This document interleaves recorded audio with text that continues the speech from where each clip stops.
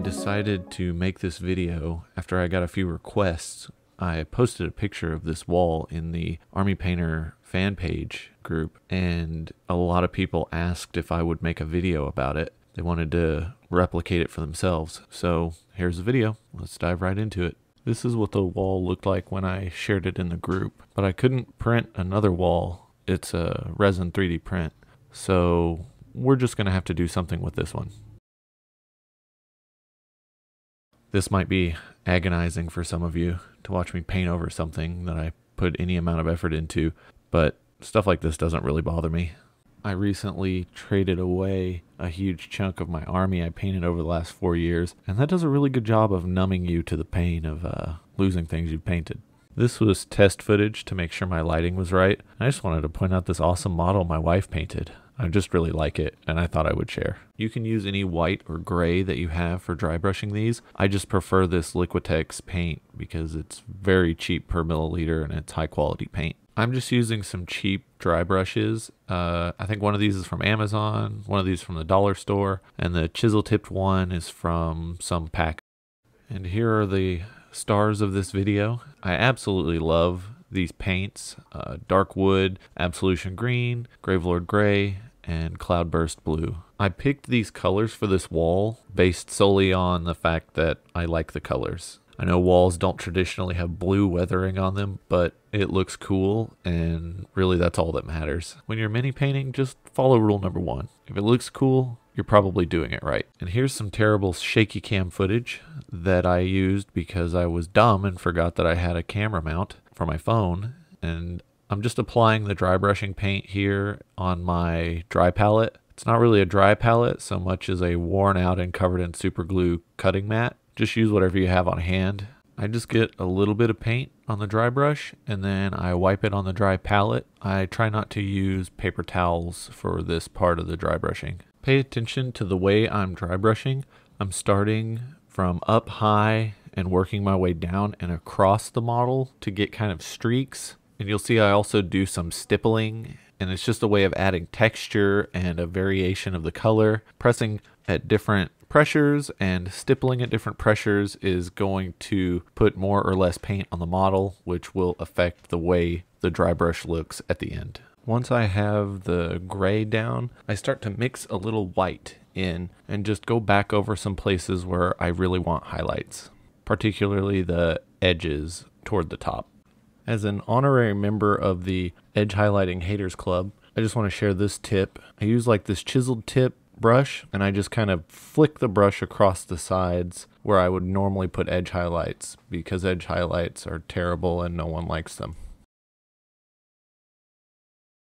Here I'm prepping my wet palette for the speed paints. I use speed paints on my wet palette exclusively. I don't use them any other way. Uh, this bottle's really handy for just hydrating your wet palette and it's also good for airbrush work and stuff like that. I don't know why people don't use speed paints in their wet palette. I keep seeing in groups and stuff they they're so alarmist about it. It's almost like they think your model's going to explode if you apply speed paint mixed with water onto stuff, but it's not that big of a deal. I think it really comes down to brush control and how much moisture you have loaded in the brush when you get the speed paints.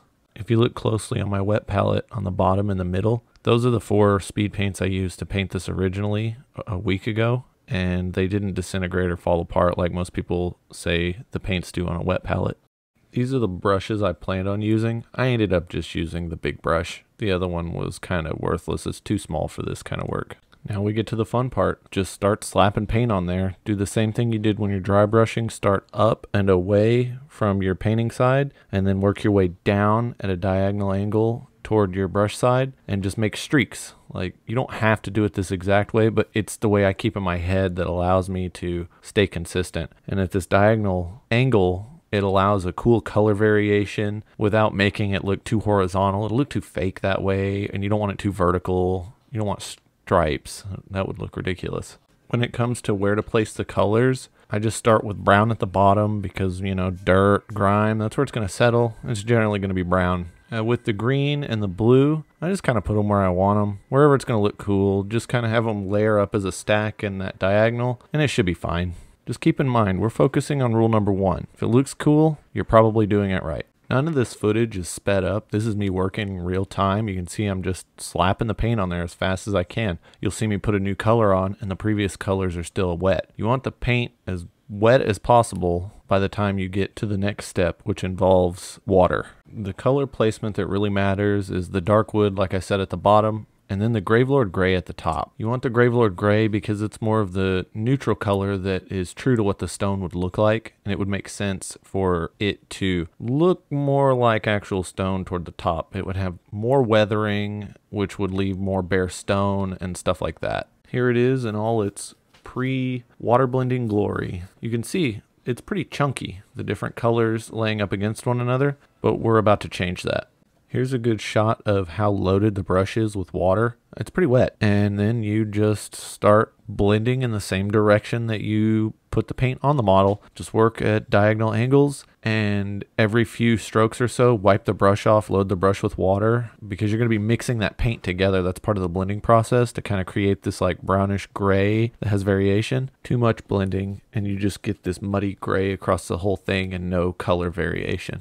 The next step is to get a little wadded up paper towel and just lightly press across the wall in the wet spots and that'll just kind of absorb a bunch of the paint and reveal some of your dry brush texture and it will just lighten the overall tone across the model and it's just a really easy way to unmess up any of the really bad blends you did. Just kind of daub them away and you're left with something that looks really good. I mean, we all know nature is pretty random and cares nothing about your feelings or the way you want things to look. So why not replicate that in your model? At this point, you can go back with the smaller brush and touch up some areas that you're not quite happy with and just use the same techniques just on a smaller scale. And here's the end result after I let it dry.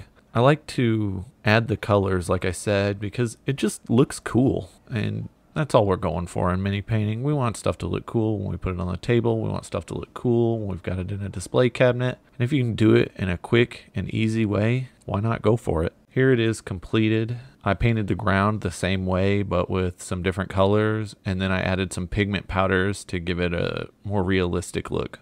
I want to thank you for watching. Uh, thank you to the people in the Army Painter fan group that suggested I make a video of this. If anyone has any ideas for videos they would like to see, please leave in the comments. And if you like what you're watching, uh, please give me a subscribe. Thanks, and we'll see you next time.